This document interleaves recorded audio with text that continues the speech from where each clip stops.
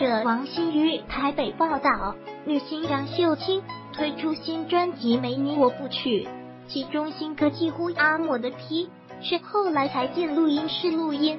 张秀清解密表示，去年六月母亲因感冒匆匆离世，没留下半句话，自己也来不及向妈妈诉说心里话，直到听到这首歌，才让她眼眶秒湿。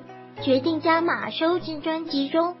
张秀清坦言，母亲离世后的这一年，其实都是强颜欢笑上钩。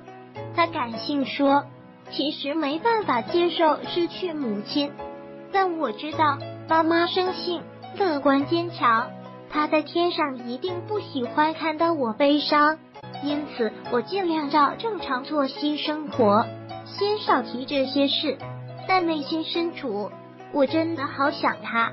进录音之后，张秀清临时提议加了口白，对妈妈喊话下辈子还是要当你女儿的告白，一度念到情绪崩溃，中断录音。回忆起母亲，张秀清透露，小时候妈妈很严格，知道她参加唱歌比赛，就算得了第一名，依然会体罚。虽然嘴上严厉，但私下却在细收藏每份简报，这些都看在张秀清眼中，成为他的精神支柱。